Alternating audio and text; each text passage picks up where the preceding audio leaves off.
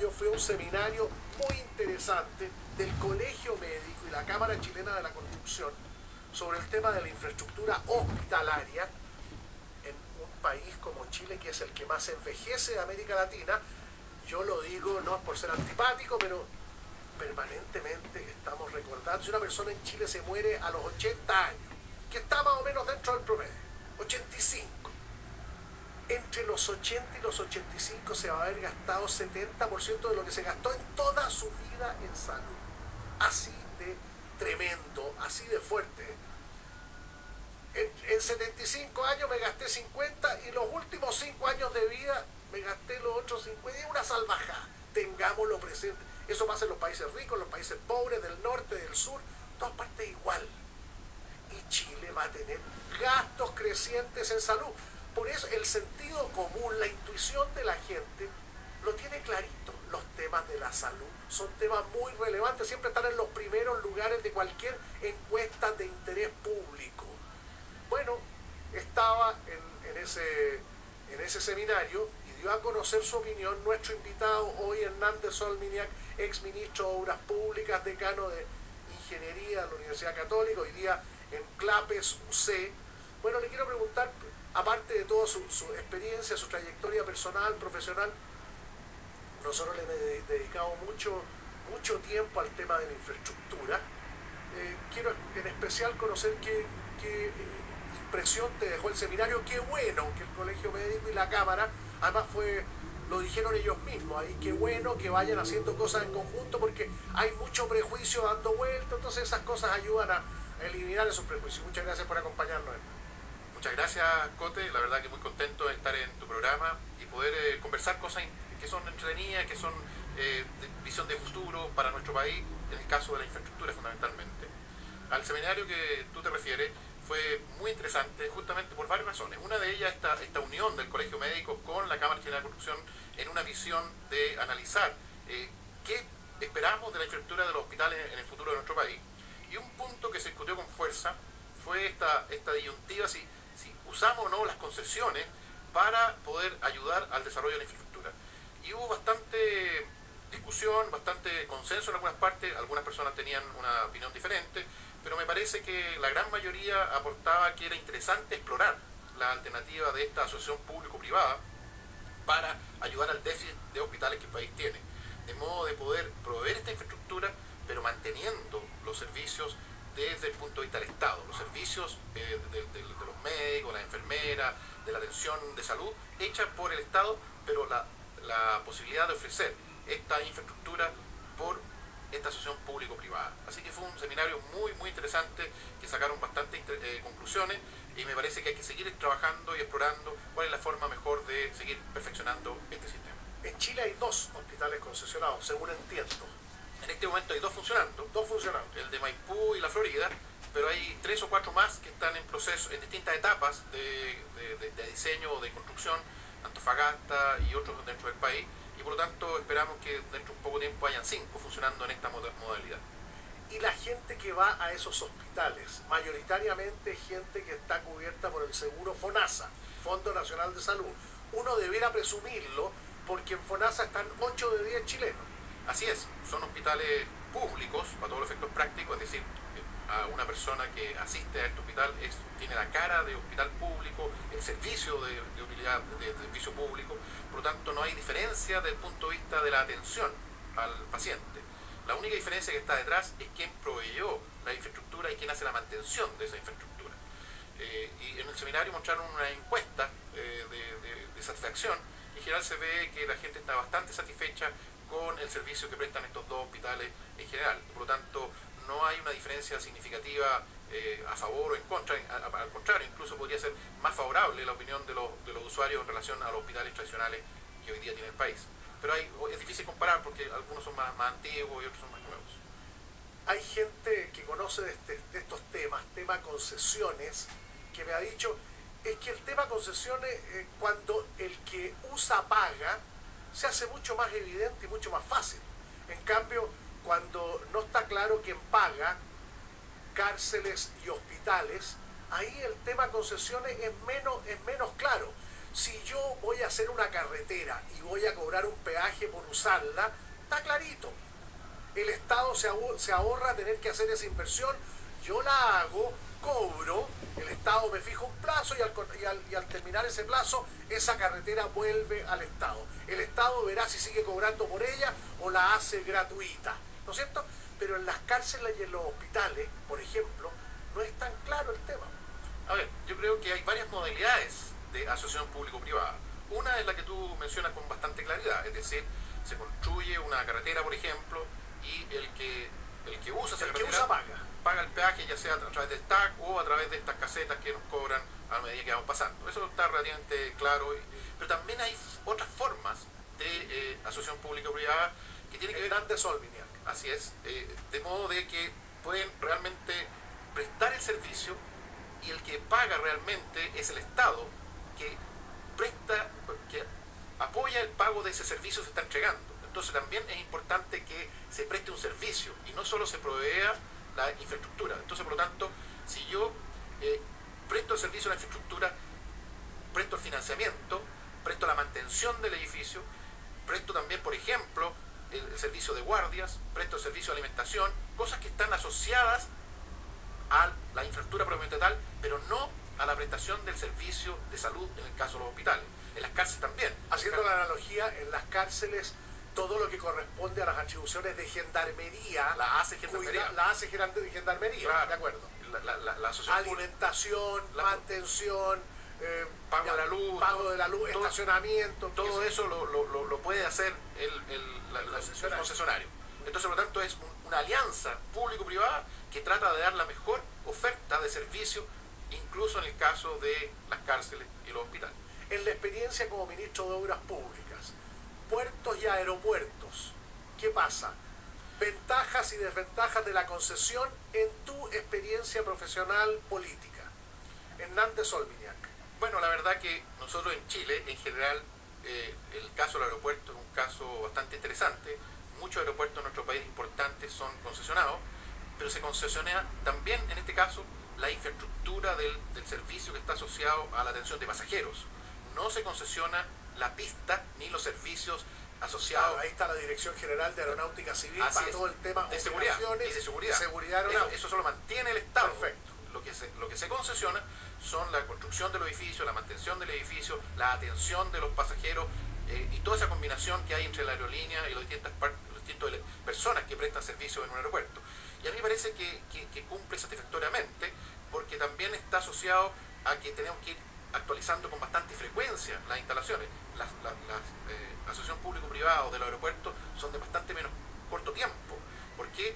Porque son inversiones un poco menores y eh, se alcanza la tasa de, atención de, pasajeros con bastante menor tiempo que en el caso de las carreteras, que son inversiones bastante de más largo plazo y de mayor volumen. Bueno, en el caso de, Santiago, todo el mundo se quedó corto. Yo participé como, como gerente general de la Asociación de Empresas de Turismo. La- en la primera ampliación de Pudahuel, todos nos quedamos cortos. Pensamos que los 3 millones de pasajeros años se iban a lograr a, a 6 años, se lograron al tercer año. El caso de, de Castro, Castro quedó chico al año, nadie se imaginó la demanda que iba a haber. ¿Qué pasa cuando uno se queda corto? Estuvo acá, fue el invitado internacional de la Cámara Chilena de la Construcción, Javier Sala y Martín, estuvo acá en el programa, me regaló el libro, lo más cariñoso que hay, y él daba cuenta de una cantidad, yo las vi en Portugal, en España, en, muchos, en muchas partes he visto infraestructura que no ha servido para nada. Entonces el tema de la infraestructura, fue interesante que la Cámara Chilena de la Construcción trajera a alguien que dijera, ojo, no toda la infraestructura es una estructura que sirve para el desarrollo, está lleno de ejemplos de decisiones de infraestructura que tienen un- una raíz política donde lo interesante es cortar la cinta porque y después no pasa nada. Los ejemplos más dramáticos los dio con esa ciudad tecnológica que iba a haber después de la Expo Sevilla, donde llegaban, donde había llegada para trenes de alta velocidad y no pasó nada, está ahí todo eso muerto. Bueno, yo quisiera hacer dos comentarios respecto a, a tu, a tu análisis, que parece muy importante. Lo primero que yo quiero decir es que en Chile yo creo que en general esa situación se- no debería existir, porque todos los proyectos públicos o con asociación de privados tienen que tener una evaluación social aprobada. Por lo tanto, la evaluación... La hace un tercero, además. Claro, la hace... La hace el Ministerio de Desarrollo Social. Exactamente. Y por lo tanto, si no pasa esa evaluación social, no se puede construir.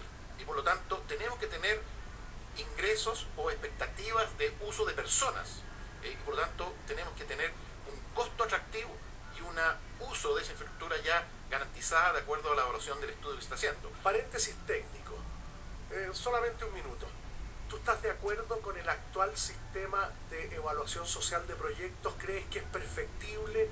¿Qué significa que los proyectos tengan que tener una rentabilidad social del 6%? ¿Cuánto se puede homologar con la rentabilidad privada? Dale un minuto a ese, a ese que a mí como ciudadano que paga impuestos, porque cuando hablamos de las platas del Estado se nos olvida hablar que son las platas de la señora Juanita, que paga 600 lucas al año de IVA no más. Y si tiene casa paga, por, paga contribuciones y así sucesivamente. Bueno, todos los ciudadanos de nuestro país pagamos impuestos de acuerdo a nuestra realidad y por lo tanto es importante que el Estado use eficientemente esos recursos.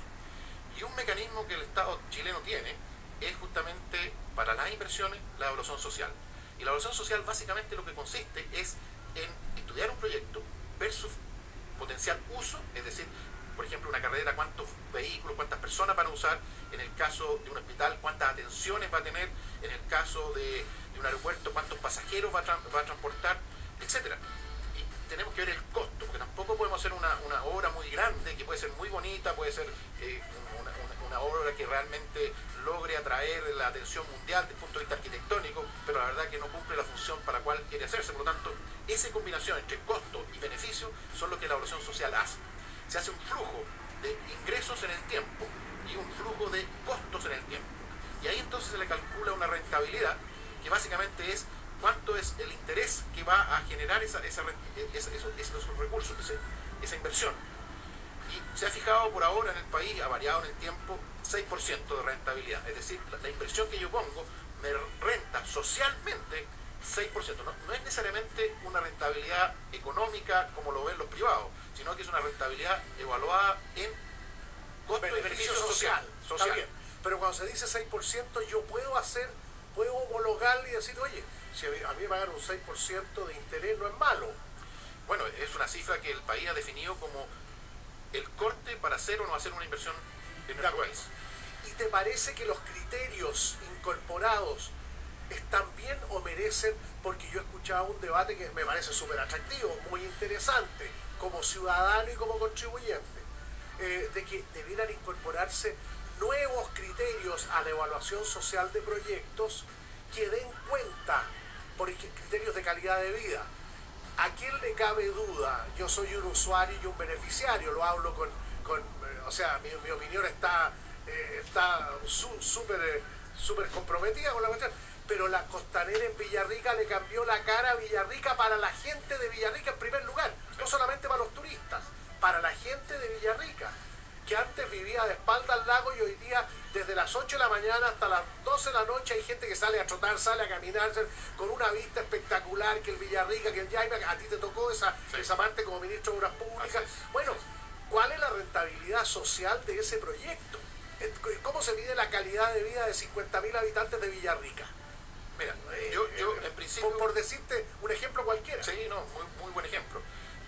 A mí en principio, y estoy completamente de acuerdo, que tiene que existir una metodología objetiva que evalúe los proyectos, que no permita, por razones políticas, que no permita, por otras razones, hacer un proyecto versus otro, que sean realmente en forma objetiva y que el país tenga la tranquilidad que las platas de todos los chilenos se están invirtiendo bien.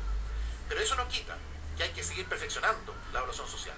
Yo creo que comparto plenamente contigo y de hecho yo eh, estamos trabajando en CLAPES para hacer algunas recomendaciones al Ministerio de Desarrollo Social para perfeccionar algunas herramientas que permitan valorar mejor el país de hoy.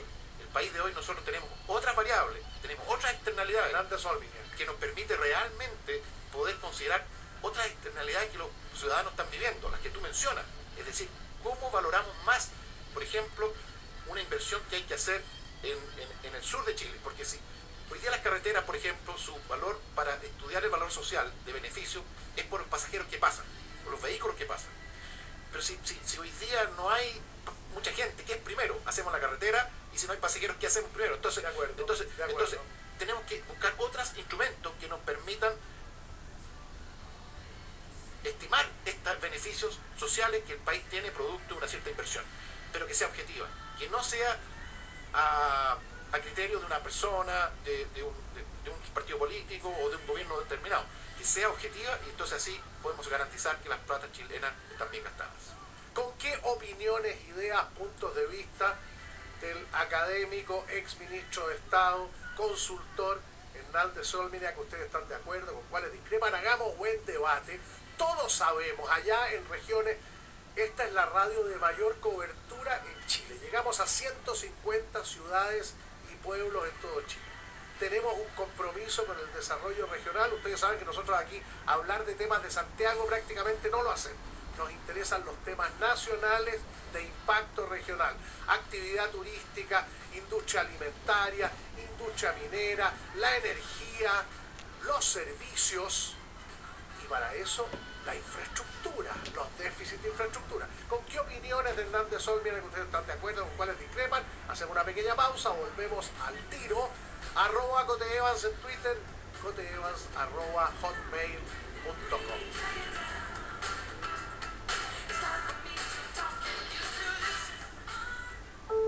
Longines, tradición relojera desde 1867 refleja una fuerte devoción a la elegancia y al rendimiento suizo en cada uno de sus modelos. Elegancia atemporal y tradición. Busca el tuyo y regala Longines en la boutique Longines del Mall Costanera Center y encuentra piezas exclusivas y la mayor variedad. Longines, elegancia es actitud. Arica es puerto y construye nuestra conectividad con el mundo. Chillán es agricultura y construye el abastecimiento del país. Punta Arenas es energía y construye el desarrollo de Chile. Porque construir Chile es obra de todos. Los constructores llevamos 65 años aportando al desarrollo del país. Cámara Chilena de la Construcción. Obra de constructores. Obra de todos. ¿Y si cambiamos el modo trabajo y volvemos al modo vacaciones? Aprovecha hasta junio la baja temporada de Hotel Termas Puyehue. Disfruta de domingo a jueves desde 60 mil pesos por persona por noche. Aprovecha la baja temporada junto a Hotel Termas Puyehue. Cupos limitados. Encuentra los mejores precios en www.puyehue.cl. La comunidad de su viaje comienza en Air Canada. A partir de noviembre descubre nuestra nueva Premium Economy, una excelente opción para viajes de negocios o placer. Disfrute una cabina separada con asientos más amplios y con mayor reclinación. Más de 600 horas de música y videos en pantallas touch de última generación. Gastronomía internacional y vinos seleccionados. Viaje sin escalas a Toronto en Premium Economy de Air Canada y conecte a todo Canadá, Estados Unidos, Asia y Europa. Premium Economy de Air Canada, la verdadera Premium Economy. Para reservas e informaciones visítenos en aircanada.com su agente de viajes. En Santiago, a pasos de la estación Metro Rodrigo de Araya, en un barrio residencial privilegiado por su excelente conectividad, se ubica edificio Sicarelli. Cuenta con home studio, 1, 2 y 3 dormitorios, 2 y 3 baños, piscina, quinchos panorámicos, gimnasio, sala de lavandería, conserjería y cerca de todo. Centros comerciales, supermercados, bancos y un nuevo barrio universitario. Su valor desde las 1.273 unidades de fomento. Visítenos en salas de exhibición, celular marcando asterisco 2211 o ecasa.cl. Ecasa Inmobiliaria, calidad e inversión.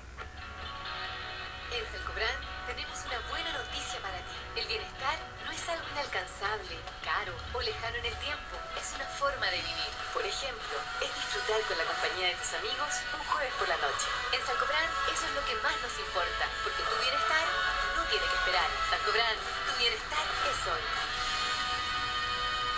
A todas las empresas de Chile, sin importar su tamaño, les tenemos una gran noticia. Llegó facturachile.cl, el nuevo servicio de factura electrónica para su negocio de ISEF Chile, con el respaldo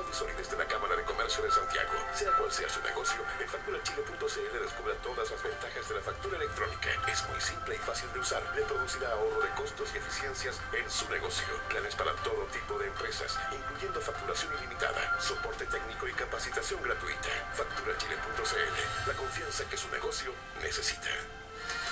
Según las estadísticas, el 50% de los hombres sobre los 40 años presentará algún grado de disfunción eréctil. Diabéticos e hipertensos pueden mejorar su calidad de vida sexual.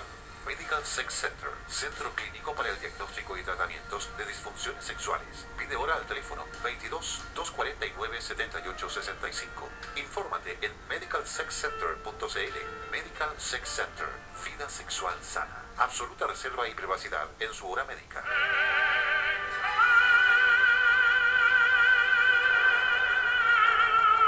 Por fin en Chile, Jonas Kaufman, el mejor tenor del mundo. El público y la prensa mundial lo aclaman. The Guardian, New York Times y Boston Globe dicen que tiene una importancia histórica, una voz única, que es el tenor más hot de la ópera, magnético y excepcional. Jonas Kaufman, 18 de agosto en Movistar Arena. Entradas en punto ticket. Auspicia el Mercurio. En Coyahuasi tenemos un compromiso, desarrollar una minería sustentable. Ejemplo de ello es que hemos potenciado el uso de energías renovables no convencionales en nuestra matriz a través de la planta fotovoltaica Pozo al Monte Solar que entrega la energía equivalente al consumo anual de 25.000 hogares. Coyahuasi, somos mucho más que cobre. Para algunas personas es tan fácil sonreír y para otras es un gran problema. Pierden seguridad, baja la autoestima, se hace difícil encontrar trabajo, incluso encontrar pareja. Para todo esto sí hay solución. En Planet, la red de clínicas dentales con más de 30 años de experiencia, ofrece implantes dentales garantizados de por vida, odontología general y medicina estética facial. Porque la sonrisa y felicidad es algo que se expresa también con el rostro. Solicite su evaluación sin costo al 225-442-555. Implanet ha hecho posible más de 30.000 sonrisas en todo Chile. Conozca su red de sucursales en planet.cl. Recuerde, llame al 225-442-555. Implanet, una red de sonrisas.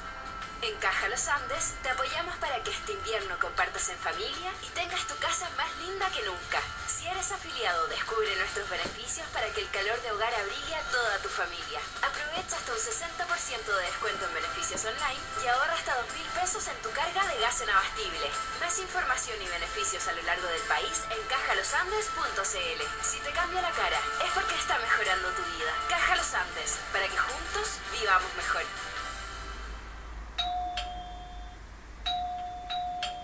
Negra, ya llegó el transfer al aeropuerto. Ya, vamos. ¿Tienes los pasajes? Check. ¿Y los pasaportes? Acá está. ¿Y la asistencia en viaje gordo? Imagínate que te enfermas como la última vez. Tranquila, ya contraté Assist Card. Al extranjero viaja siempre con la mejor asistencia médica en viajes. Asis Car. Contrata ahora promoción 2x1 llamando desde celulares al asterisco 2299 en asiscar.com o pídelo en tu agencia de viajes. Experimente lo mejor de los tesoros de Europa del Norte. Mundo Cruceros le muestra los lugares más emblemáticos, antiguas ciudades llenas de historias, maravillosas culturas, obras de arte, famosos palacios y museos en una experiencia inolvidable a bordo del lujoso crucero Regal Princess. Navegue por el mar Báltico conociendo en profundidad Rusia y Europa del Norte, San Petersburgo, Helsinki, Estocolmo, Copenhague, Oslo, Berlín y Tallinn. 10 días de ensueño con todas las comidas, entretención a bordo, refrescantes piscinas y un spa de ensueño. Los mejores destinos de cruceros del mundo para Chile están en Mundo Cruceros, donde la realidad puede ser mejor que la fantasía. Consulten su agencia de viajes o en mundocruceros.cl o al 2235 1690. Mundo Cruceros, Chile renovado. in another city by my window. En sus viajes a Concepción, no deje de visitar Solo Carnes Acuario, un restaurante de calidad internacional, con su inmejorable ubicación junto al acceso del gran barrio Lomas de San Andrés. Para sus almuerzos, cenas y reuniones de trabajo, cómodas instalaciones y una gran terraza para compartir al aire libre de grandes momentos. Atención continuada de lunes a domingo hasta la una de la madrugada. Avenida San Andrés 78, teléfono 248-0119 en Concepción.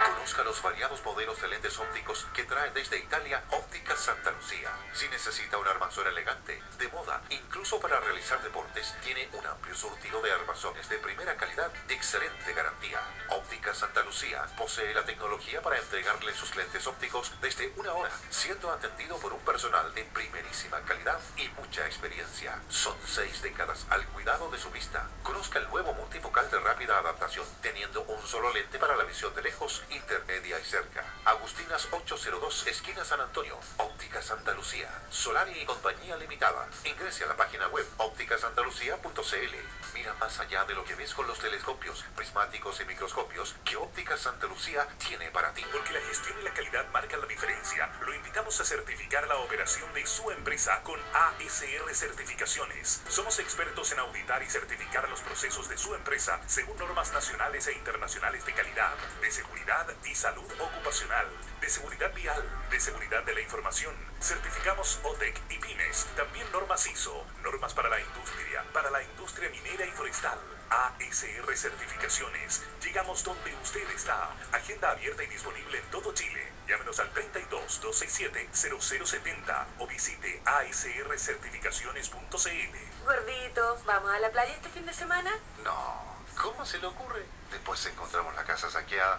Ay, relájate. Contrátate Observo. Nos monitorean la casa las 24 horas en tiempo real. ¿De verdad? ¿Y cómo se hace? Fácil, mi amor. Entra a www.teobservo.cl. Protéjase de los robos y deje de grabarlos. Más información en teobservo.cl.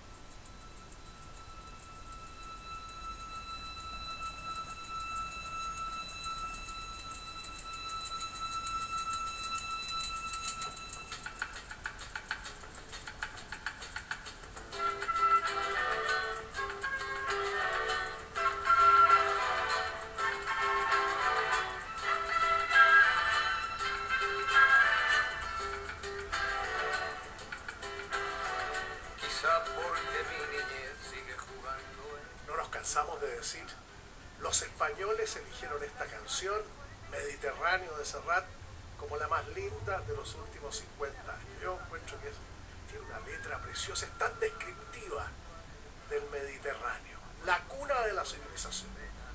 Como decía, conversa- conversaciones con mi me decía, miren, los en la antigüedad el Mediterráneo, en los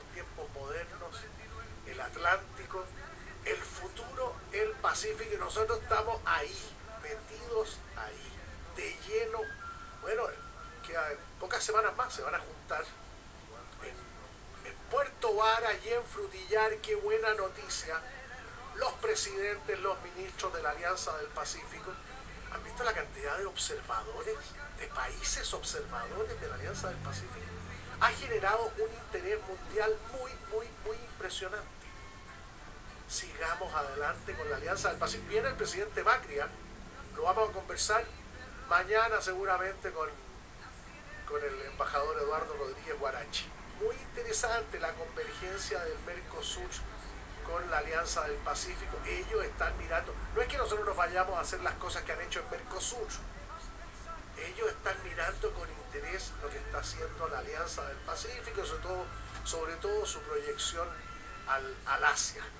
Bueno, a lo que se han incorporado recién, conversando con el ex ministro de Obras Públicas, Hernández Olminiak, hoy día en Clapes, UC como investigador, también en la Escuela de Ingeniería de la Universidad Católica, a propósito de una carta que yo leí a Alejandro Yadresich, decano de Ingeniería de la Universidad Adolfo Ibáñez, después de un periplo que había hecho por escuelas de ingeniería en otras partes del mundo, había llegado preocupado, como que aquí estábamos hablando y pensando mucho en el pasado y poco en el futuro. ¿Qué está haciendo Ingeniería La Católica?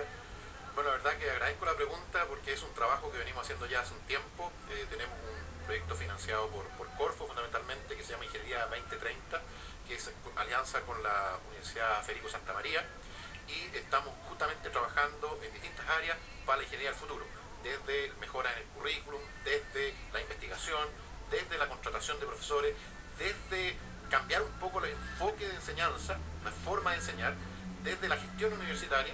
Por tanto, realmente esperamos, dentro de que ya termine el proyecto, poder ofrecerle al país cambio importante en la forma que se enseña y se investiga ingeniería en nuestro país. Estábamos hablando de recién de aeropuertos, la historia enseña, fue hoy. La Air France ponía fin a la explotación comercial de sus cinco aviones Concorde. Su último vuelo de Nueva York a París después de 27 años de existencia. Yo conocí, no volé el Concorde, lo conocí, era un avión para 100 pasajeros, era chiquitito. El costo kilómetro volado era muy alto. Los japoneses dijeron, ¿sabe qué más? El avión supersónico es una contribución es una innovación, puede generar muchos aumentos de productividad, acercar al mundo, porque la aviación comercial lleva 40 años en torno a los 900 kilómetros, así que 40 años no deja de ser en un mundo muy innovador. Pero tenían que ser aviones de 300 pasajeros. Ahora puede ser, puede ser, son las historias del futuro que están escribiendo hoy, que haya aviones eléctricos pero para 50 pasajeros. Y anunciaron un avión supersónico, pero también 50 pasajeros. Pa- Los japoneses parece que se desistieron de un supersónico para 300 pasajeros, que era lo que con petróleo a los valores de hoy ya podía ser rentable el, un Concorde de tercera generación, 3.0, qué sé. Bueno, bueno, siempre hay que buscar innovaciones que nos permitan romper estas tendencias que tenemos históricamente y nos permitan ser más eficientes y más ecológicos también, digamos. Hay que buscar la mezcla entre, entre, entre productividad y cuidado del medio ambiente. La Singularity University dijo, voy a Chile porque algo poderoso está pasando en Chile. Esa palabra, ese adjetivo no lo usaron por casualidad. Están pasando cosas en materia de innovación en Chile que son bastante llamativas, son interesantes. El trabajo de Corfo, yo le he preguntado a mucha gente, está orientado ahí. Lo que me preocupa es que cada día hay, hay como 9.000 doctores en Chile que se van el país, nosotros le financiamos una buena beca en una buena universidad, vuelven y no hay mucho que hacer. Entonces, porque los fondos Fondesit no han aumentado mucho, entonces como el peor de los mundos. Bueno, ahí Las te- chilenas y chilenos financiamos que haya cada día más magíster y más doctorados con buenas becas en universidades del mundo, llegan para acá a la vuelta y no tienen mucho que hacer. Yo creo que ahí tenemos un desafío importante. Tenemos un desafío tanto, tenemos un desafío tanto para, para las políticas públicas, para ajustar y mejorar la, la inversión que se hace con ellos a la ida y, y a su regreso, pero también el sector privado. El sector privado también tiene que acoger esta gente que realmente le puede producir un cambio radical en su forma de enfrentar su producción o su servicio en el futuro. Por lo tanto, yo creo que es un, una- un desafío, como decía, de todos nosotros, tanto de- del- del gobierno, del Estado, pero de mucha importancia de la inversión que puede hacer en innovación y tecnología el sector productivo, el sector privado. pensando en si uno quisiera mirar cuatro patas de la mesa del desarrollo para los próximos años. Yo, yo veo el turismo claramente, turismo receptivo y turismo interno, claramente como una pata del desarrollo. La- la- el Consejo Mundial de Viajes y Turismo estima que esta parte del mundo van a llegar 30 millones de turistas de aquí al 2020-2025, fundamentalmente porque es bueno, bonito, barato y seguro. El mundo árabe recibía 30 millones de viajeros. ¿Quién va al mundo árabe hoy día? Se le han caído destinos notables. ¿Quién no hubiera soñado con ir, con ir a Egipto alguna vez en la vida? O a Irán, o qué sé yo. Bueno, eh, el mundo de la energía. Y te lo se, cum- se cumplen hoy, partió hoy día, se creaba en Argentina la Comisión Nacional de Energía Atómica, 1950 los argentinos están construyendo centrales atómicas. Si tienen algún problema, eh, los efectos no van, a, no van a decir, ah, no, pero es que nosotros nos vamos a quedar aquí en Argentina no, no vamos a pasar a Chile. Hemos visto que los volcanes, por el viento dominante que es el suroeste, le han causado mucho más daño a Argentina que a Chile.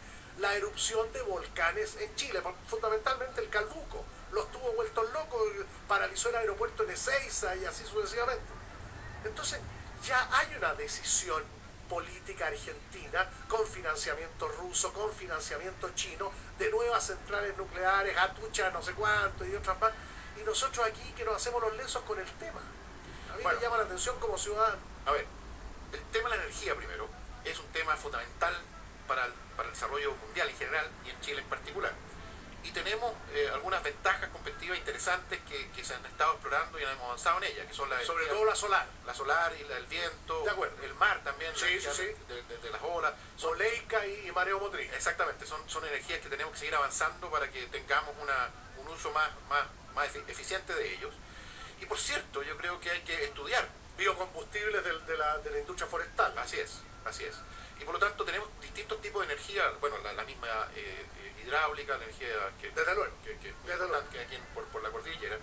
Eh, pero por cierto, yo creo que hay, no, hay que estudiar todas las otras, entre ellas la energía nuclear, yo creo que hay que estudiarla, tenemos que tener gente capacitada, y en un momento dado, cuando tengamos todas esas competencias, ver si realmente políticamente tomamos el salto o no, pero tenemos que prepararnos para por, por lo menos poder tomar esa decisión. Entonces ahí yo creo que hay un, desafío importante. Tenemos que avanzar en tener capital humano, en conocer las tecnologías y después evaluar si es que realmente Chile quiere entrar en eso, eh, en esa forma de, energía que, el mundo ha, usado en otras partes, digamos. Y, y, ver que si en un país como nosotros, con los sismos, con las características que tenemos, es, es segura.